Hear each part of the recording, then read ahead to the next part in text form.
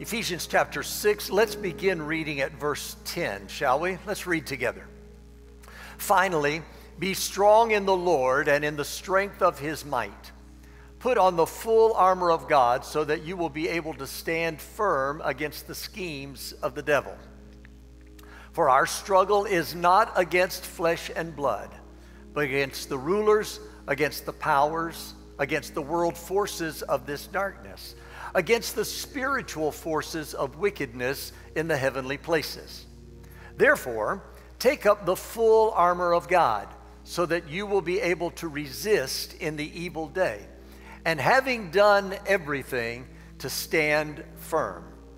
Stand firm, therefore, having girded your loins with truth, and having put on the breastplate of righteousness, and having shod your feet with the preparation of the gospel of peace. In addition to all, taking up the shield of faith with which you will be able to extinguish all the flaming arrows of the evil one, and take the helmet of salvation and the sword of the Spirit, which is the Word of God. I heard the story about a boxer that was being pummeled in the ring by his opponent. Blow after blow left him with a bloody nose, swollen eyes, a bruised torso, and an enormous amount of pain. Mercifully, the bell dinged just as he was about to collapse, and he staggered to his corner. There, his trainer, trying to encourage him, kept telling him, You're doing great, Fred. That bum is barely touching you. To which he responded, Then you better keep your eye on that referee because somebody's killing me out there.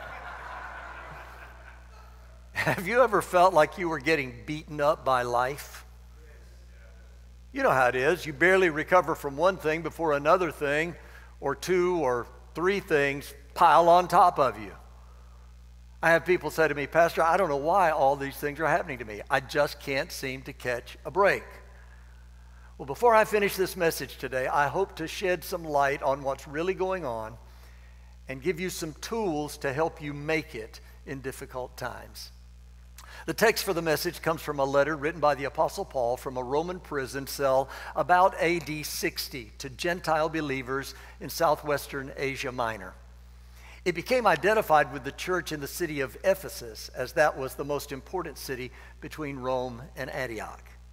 As he comes to the conclusion of his letter, the apostle turns his attention one last time to the challenge believers face while trying to live out their faith in a hostile environment. He writes here in verse 10 finally, be strong in the Lord and in the strength of his might. So, right up front, he says that the strength you need is not human strength.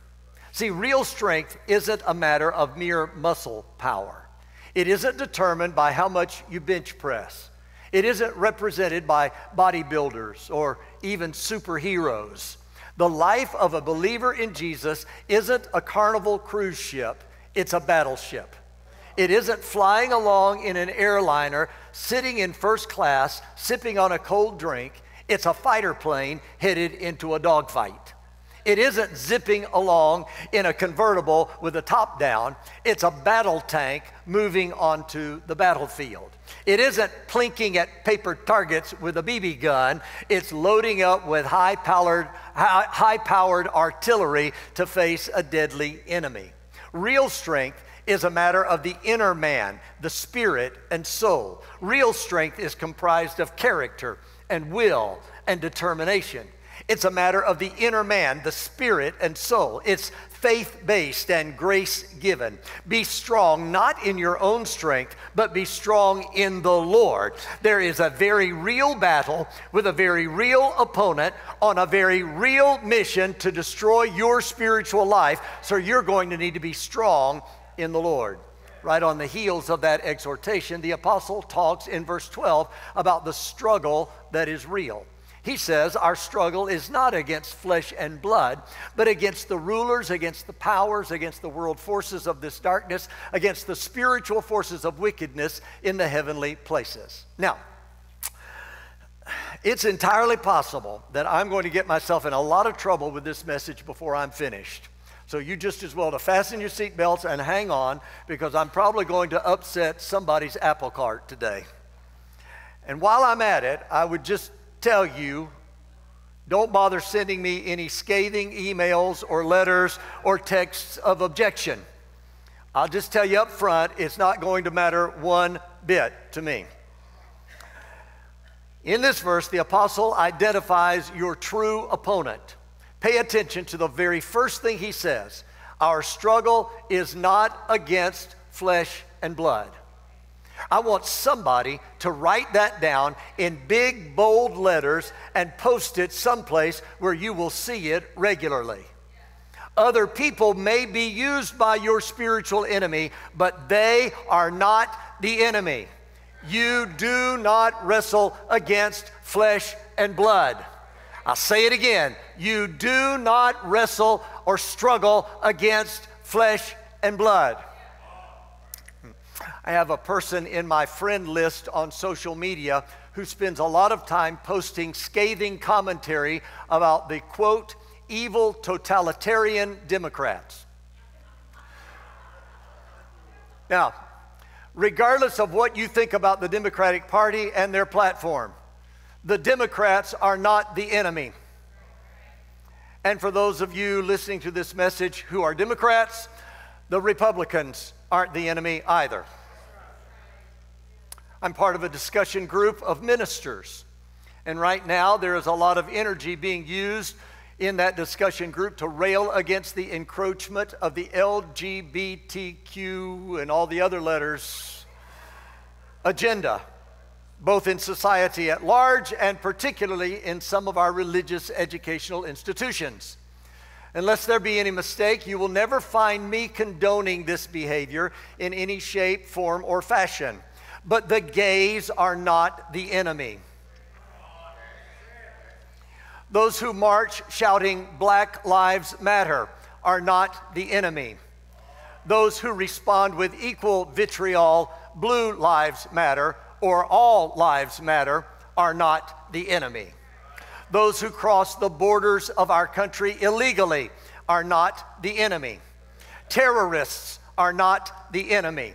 Muslims are not the enemy. The struggle is not against flesh and blood. And I'm, just, I'm this far into it, so I might as well continue and tell you that your spiteful spouse is not the enemy.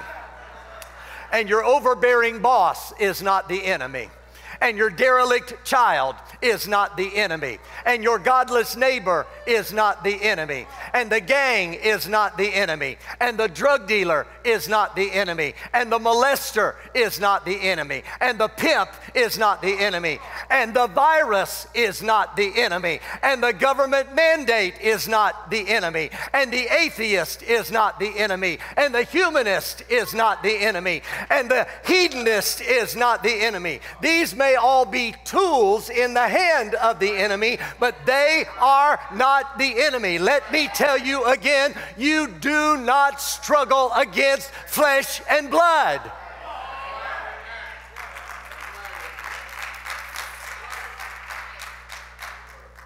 I don't mind telling you that I don't like the recent jump in prices of everything from the fuel I put in my automobile to the food I put on my table.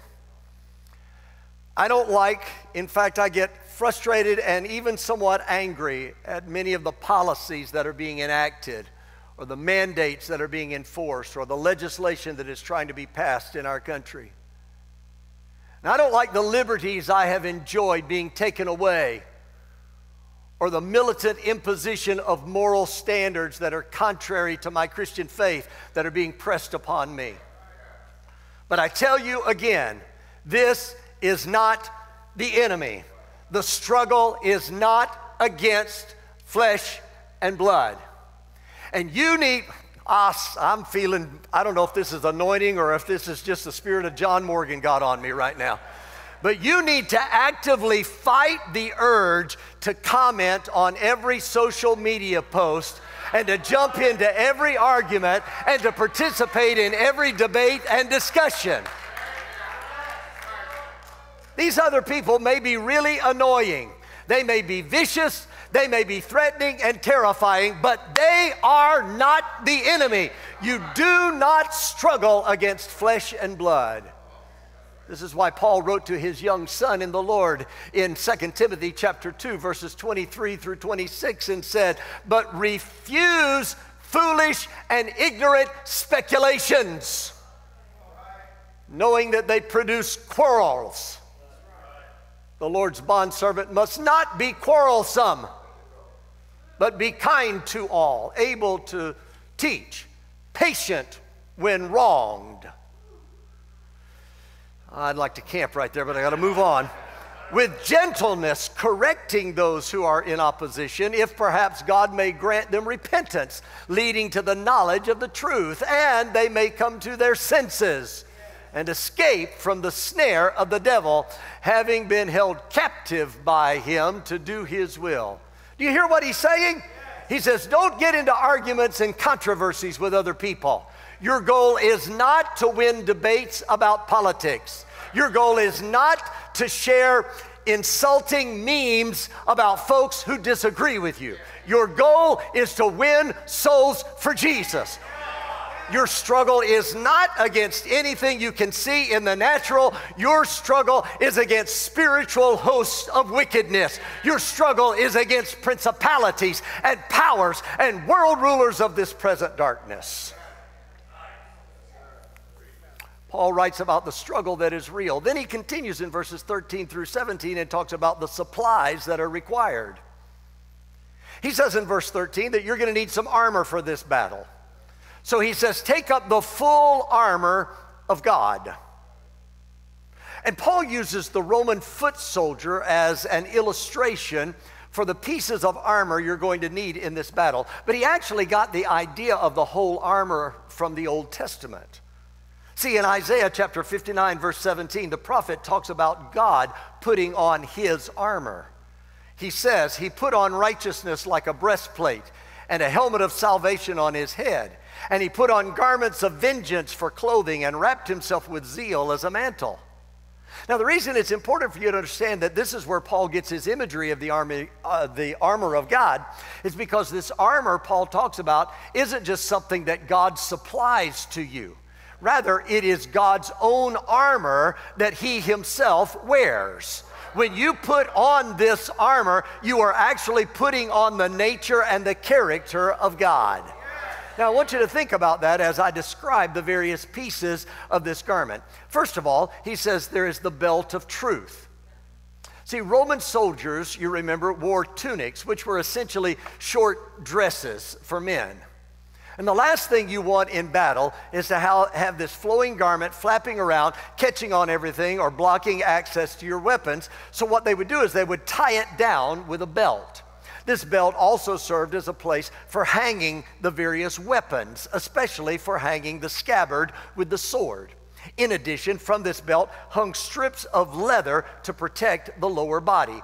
The belt was wide enough as a girdle to protect the kidneys and other vital organs. In reality, the belt tied everything together.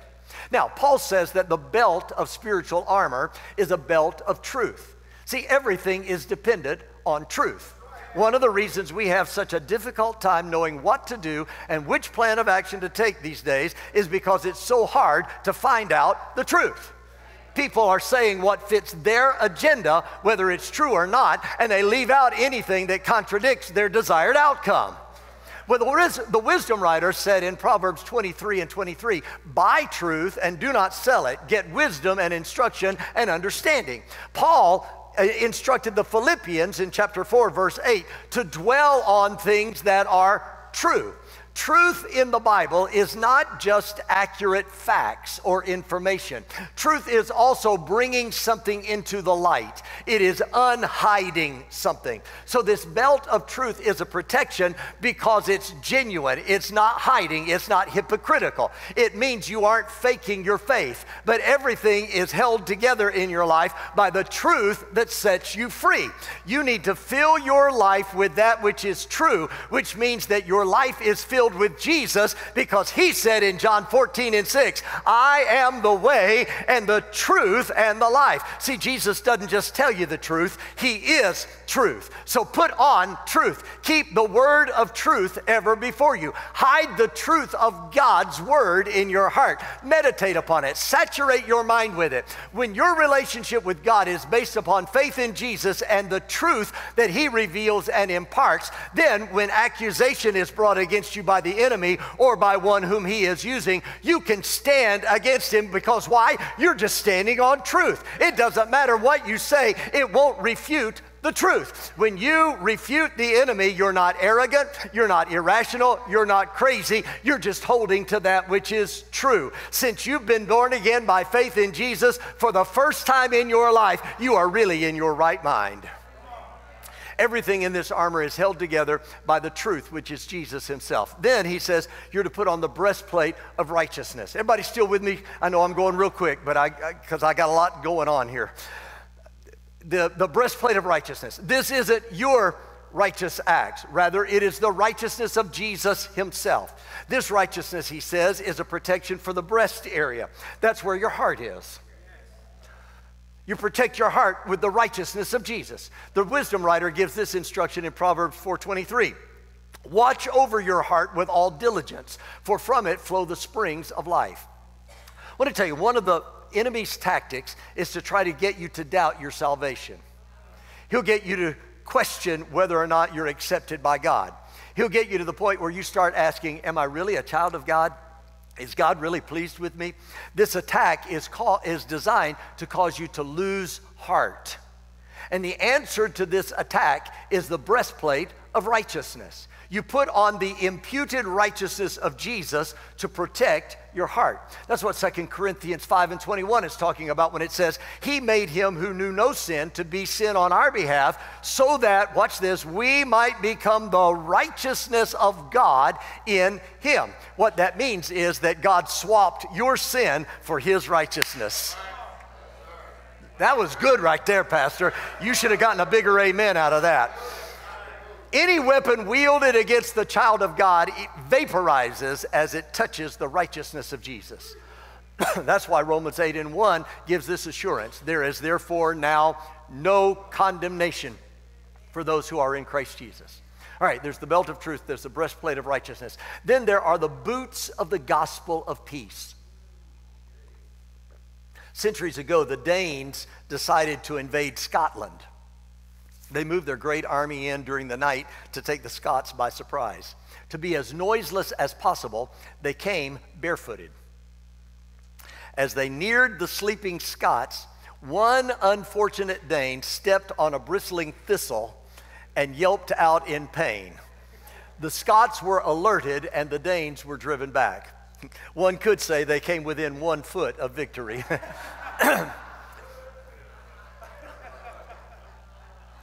just seeing if you're still awake and paying attention. In memorial, the thistle was adopted as the national emblem of Scotland. It's been said that the Roman soldiers' boots were the secret of Roman victory. Just imagine a fully armed soldier wearing flip flops. Uh, no, in a fight, footing is everything.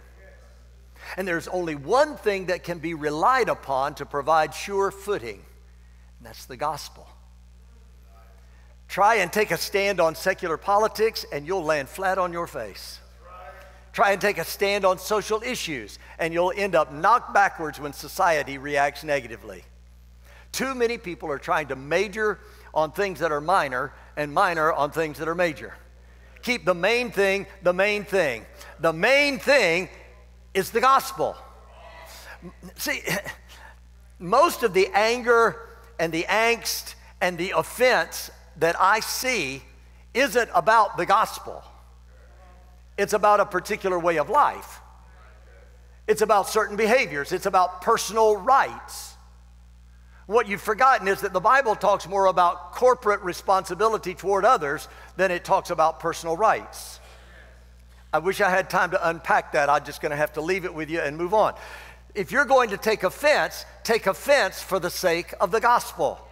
Paul declares in Romans 1:16, "For I am not ashamed of the gospel, for it is the power of God for salvation to everyone who believes." And I want to tell you it's not just any gospel, it's the gospel of Jesus. The good news about Jesus. Jesus Christ, Son of God, Son of man, crucified, buried, resurrected, living, he loved me, dying, he saved me, buried, he carried my sins far away, rising, he justified, freed me forever. One day he's coming back. Oh, glorious day. That's the gospel. Take your stand on the gospel.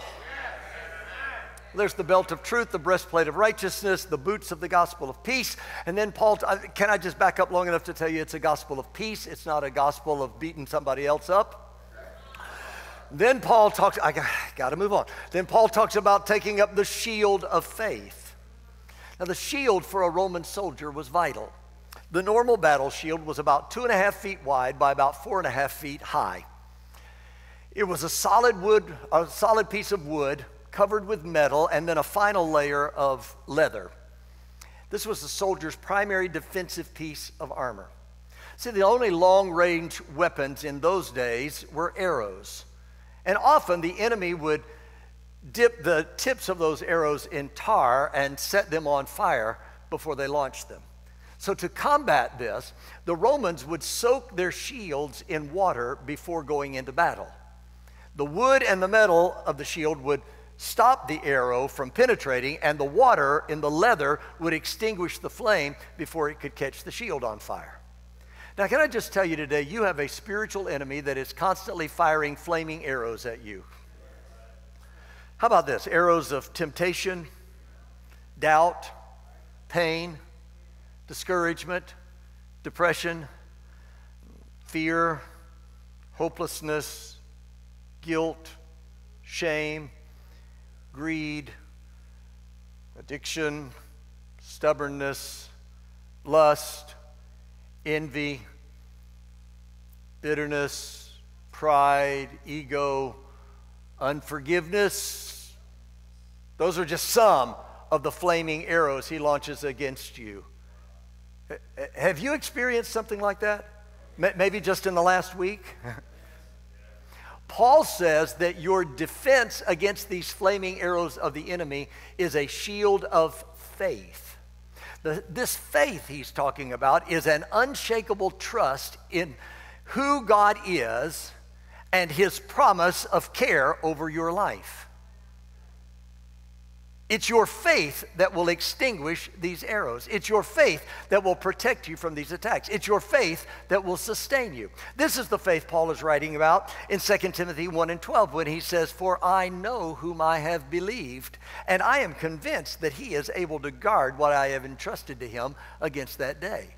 This is the faith of Philippians 1 and 6. For I am confident of this very thing, that he who began a good work in you will perfect it until the day of Christ Jesus. This shield of faith is a critical piece of the armor. But I wonder how many of you could testify today that sometimes your faith is weak. Uh, anybody besides me? I'm just, okay, okay, good. I, I didn't want to feel all by myself up here. See, sometimes it can seem like there are too many arrows coming too quickly and you can't ward them all off.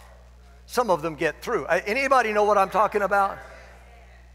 Well, I want to tell you, this is where the church becomes so critical. Now, watch this. You see, the Roman army took some lessons from the warriors of ancient Sparta. When the enemy began to launch their arrows, the Roman army would get into a formation called a testudo. Testudo is Latin for tortoise. This was a very tight formation in which the shields of the soldiers, they would interlock them. They would lock shields in front, on the side, and overhead, forming a tortoise. This army didn't fight as, an, as, individual, as individual soldiers, they fought as a unit. So they protected each other. When one soldier couldn't stop the barrage of arrows coming against him, the entire unit could come together, get in this tortoise formation, and they could stand even when it seemed to be raining flaming arrows. Can I tell you, that's one of the reasons why the writer in Hebrews chapter 10, verses 23 through 25 says, Let us hold fast the confession of our faith, of our hope without wavering, for he who promised is faithful. And let us consider how to stimulate one another to love and good deeds, not forsaking our own assembling together, as is the habit of some, but encouraging one another, and all the more as you see the day drawing near. See, this is the beauty and this is the power of the body of believers. Because when your faith is weak, if you can just get together with other believers, they will hold up their shield of faith and they will protect you so you will not fall. When your faith wavers, that's when the faith of your neighbor is strong and stable. When you want to quit, the faith of your brother and your sister helps keep you going. Even, even if you happen to fall, you won't fall away because you'll be surrounded by brothers and sisters that will support you and they'll lift you up and their faith will sustain you. Don't, don't neglect meeting together with your brothers and sisters in the Lord. Your faith needs that connection. Well, there's the belt of truth, there's the breastplate of righteousness, the boots of the gospel of peace, the shield of faith. Then there's the helmet of salvation. The helmet obviously covers your head, which contains your brain. The brain is the command post of the body, it's the decision making headquarters. Your mind is especially susceptible to attack from temptation, from negativity, from fear, from unbelief, and from error. According to Romans 8 and 7, the mind set on the flesh, that is, the carnal mind, is hostile toward God. According to Romans 7 and 23, Satan is waging war against the law of your mind and bringing you into captivity. The primary battlefield is in the mind. And one of the greatest things that can happen to you today is for you to get saved brains.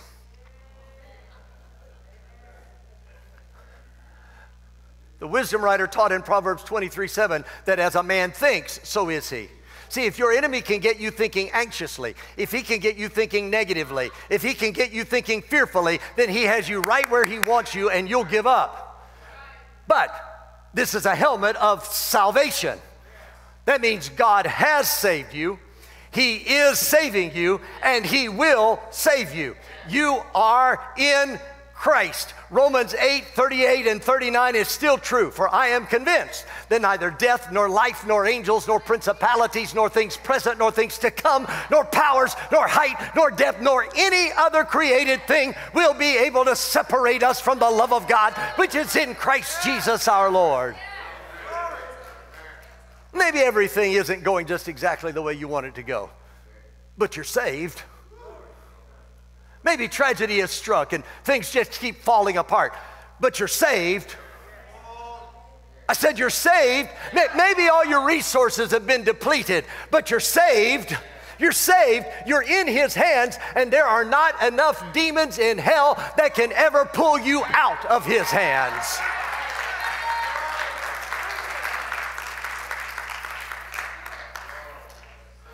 The last piece of equipment is the sword of the Spirit, the Word of God.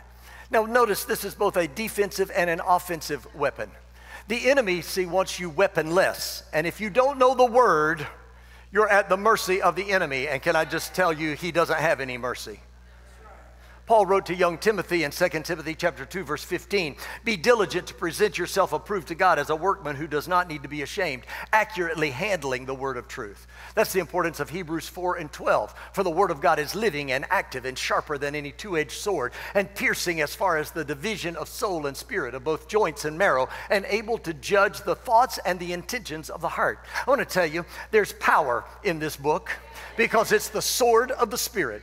The power comes from the words the Spirit has infused into your Bible. God says in Isaiah 55 and 11, My word which goes forth from my mouth, it will not return to me empty without accomplishing what I desire and without succeeding in the matter for which I said it. I want to tell you, every time you quote scripture, you unleash the power of God's Spirit in a conversation. You'll deflect the enemy's lies with the truth of God's word. You'll cut to the heart of the issue with the revelation that comes from the word of the Lord. Everything the enemy throws against you is to be evaluated against the word. Now, I've got one minute to finish up this next last point, and I'm not going to make it, so y'all just hang with me and keep the doors closed, and we'll let them in when I'm done. Paul talks about the struggle that is real. He talks about the supplies that are required. Finally, he talks about the stand that is radical. At the end of the day, the true purpose of the armor isn't to enable you to rush into battle and engage the enemy. That's going to mess with some of your theology, so just let that soak in for a moment. The army is not so you can run out to battle and engage the enemy. He tells the purpose in verse 11 so that you will be able to stand firm against the schemes of the devil. He says it again in verse 13 so that you will be able to resist in the evil day and having done everything to stand firm. He says it one more time in verse 14 stand firm, therefore. Most people, most people hear about this armor of God and, and, and you know, the spiritual struggle and warfare, and they want to be a little more active. I mean, you want to go on the offensive. Attack! Storm the battlements! Destroy the enemy! Hmm. Your mission as a believer is to stand. The mission of the church is to stand. Now, standing seems rather boring until you understand something about warfare during the time this was written. I've already described for you the, te- the testudo formation, the, the tortoise formation, you know, where the Roman soldiers would lock their shields in front and overhead. All right. This formation would make the arrows launched against them from a distance ineffective.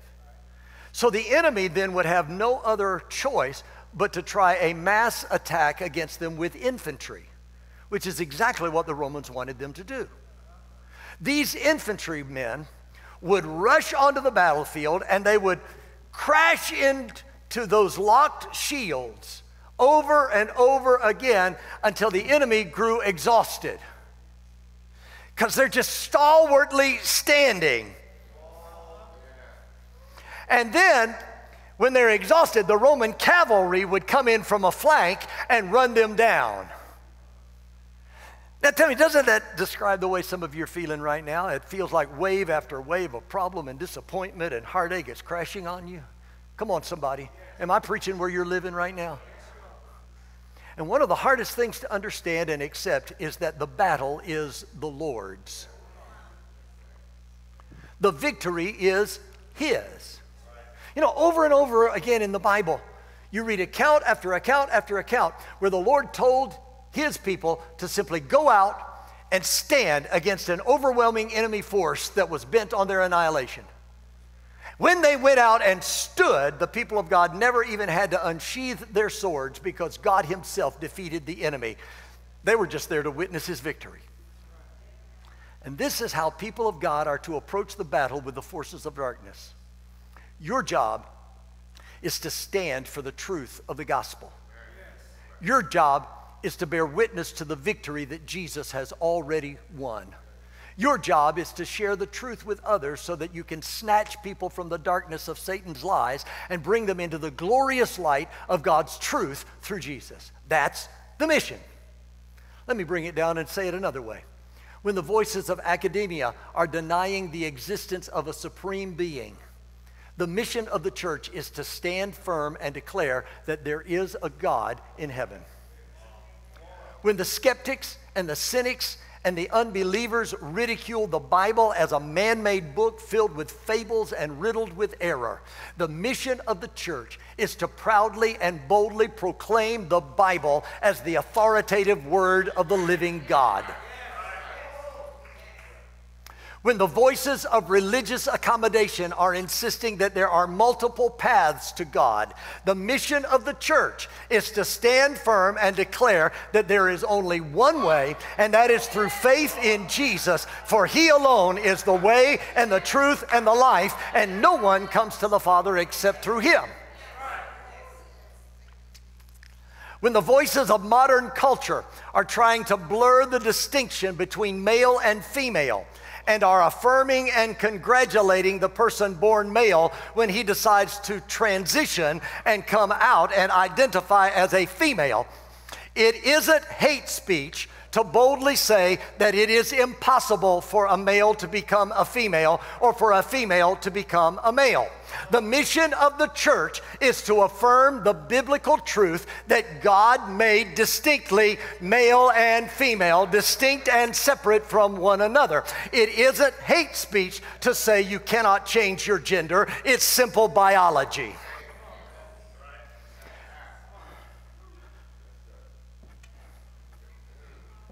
In the midst of a permissive culture that indulges and celebrates every behavior that brands itself an expression of love.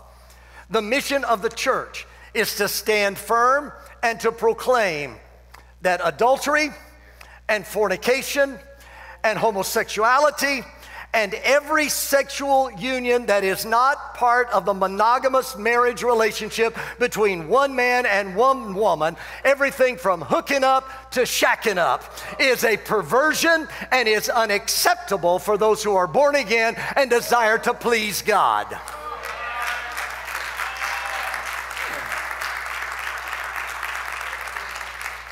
When innocent children are being sacrificed on the altar of expediency and conveniency in a procedure we call abortion. The mission of the church is to stand firm in our rejection of the heinous practice and in our resolve to defend the helpless in a world that is focused on material possessions and power and entertainment. The mission of the church is to stand firm against every idol that would seek to usurp the first place reserved for God alone. The mission of the church is to say, You can challenge me, you can combat me, but you cannot cancel me.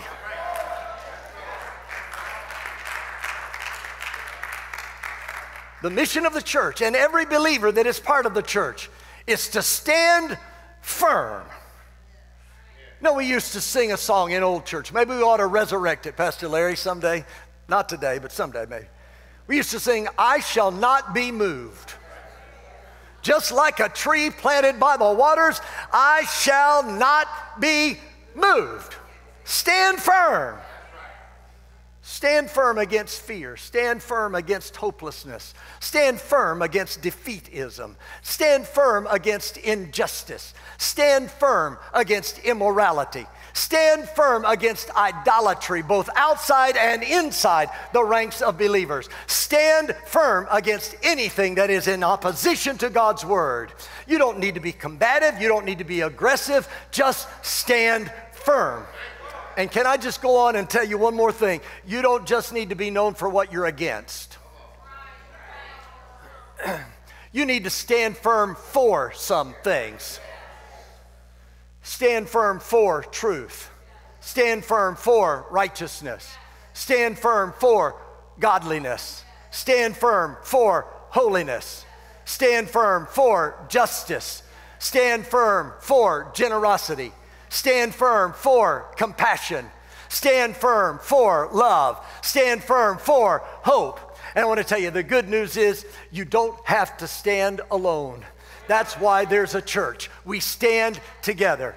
I to tell you, I'm tired of seeing church people taking pot shots at one another. I'm tired of seeing church people divide over personal preferences. Your brothers and your sisters are not the enemy. Lock your shields together. Stand firm. Let the enemy crash against you. If if you'll stand together, the enemy will be repelled. And just about the time you think you can't stand anymore, that's the time to look up because that's when the heavenly army is going to show up. Stand firm and see the salvation of the Lord. It is He who will fight and will ultimately triumph over the enemy.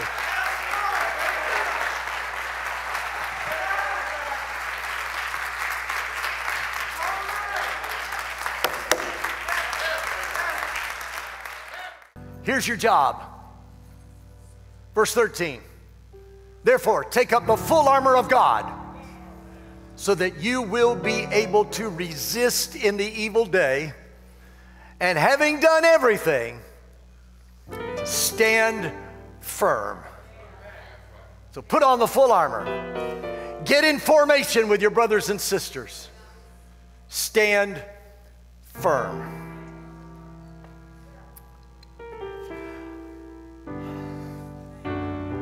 Holy Spirit, I ask you to infuse your people with staying, sticking, standing firm power. And I thank you for doing that. In the name of Jesus.